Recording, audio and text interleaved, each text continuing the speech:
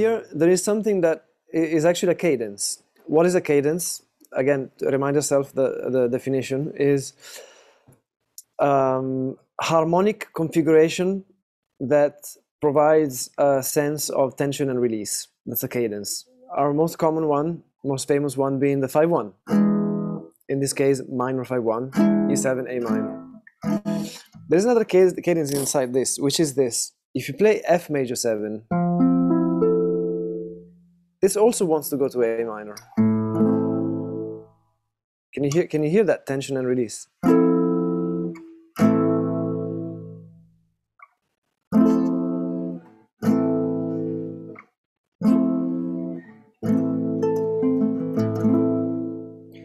There is another cadence which is sort of a more complex one, which is playing the flat six chord, which is the F major seven, then E7, which is the five, and then the one. So we get F major seven, E7, a minor. And this this is where things start getting beautiful and inspiring, really, and giving you a lot of ideas for arranging tunes, uh, rearranging harmonies, and and soloing ideas. That's the that's the main things we talk about from from now. So now see how instead of a two five one, you can play a flat six five one. Is a is a is an alternative to to the usual cadence that we're used to that 251, B half diminished E7, A minor, played as flat 6 major 7, E7 or 5 7 and 1.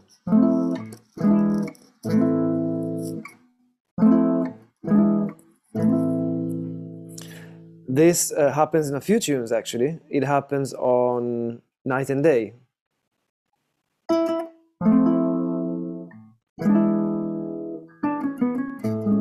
it goes to an A major after that, doesn't matter. You can, you, you can resolve to a major chord as a surprise effect, surprise sound. But see, this is from harmonic minor, minor harmony. See, F major 7, E7, going to A.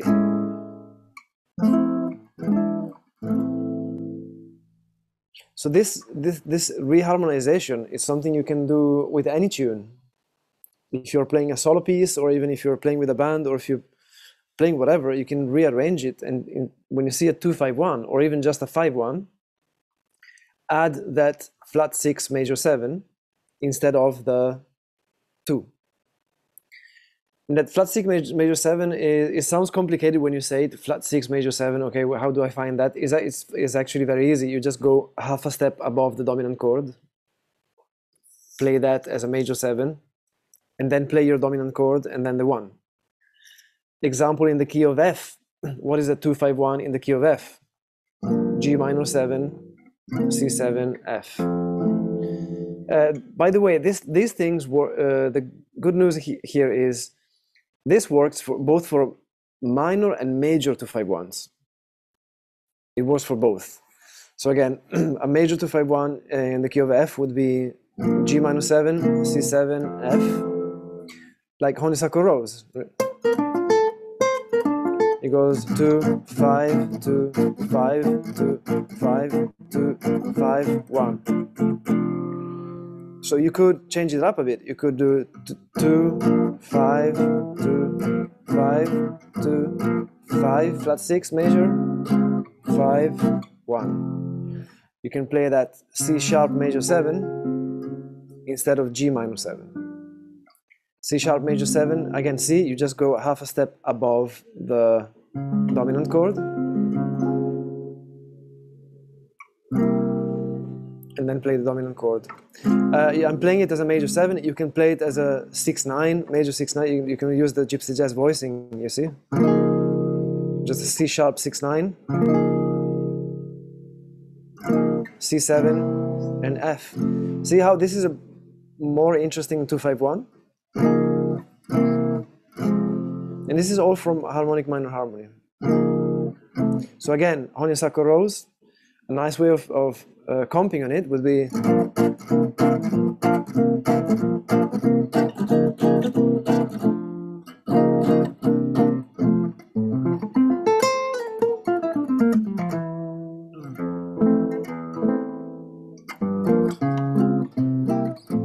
and you can literally do it on any tune. Uh, again, we I don't know why that keeps coming to my mind, but it's a good example actually. Stronger than me. We were talking about it with Damien uh, weeks ago. That's a, that's a good example. It's is is what is a G minus six or G minor, but it, it means G minus six because it's G minus six, A seven, D minor, right? Why am I mentioning that G minus six? Because instead of E half diminished, the song goes with a G minus 6 as an inversion of it. Do you guys remember that? So this a G minor 6 is actually nothing but an E half diminished inverted. So it, it it's a minor 251 basically. G minor minus 6 or E, e half diminished, same thing. So da da da da da da 251. How do we apply that idea on this tune? Well, Again, find the dominant chord, go half a step above that, play the major 7 chord on it, which gives us a B flat major 7. And the melody still works fine on it.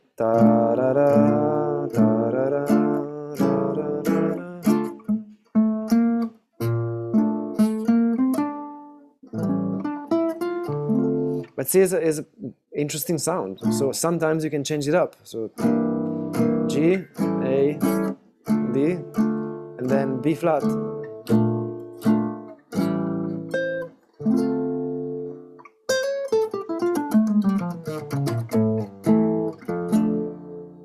You can try it on minor tunes as well, of course.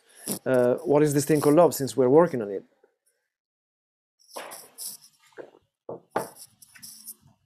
There, it starts with a 251, minor 251 in the key of F. instead of G half diminished, C7, F minor, I can play what? C sharp major 7,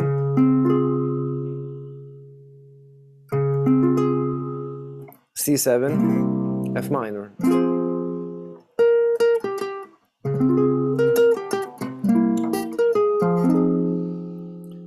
And then the next four bars are uh, 251 in C, starting off as a minor 251, finishing on as a major with a, with a C major. But again, D half diminished G7 C major can be a flat major 7, G7 C major.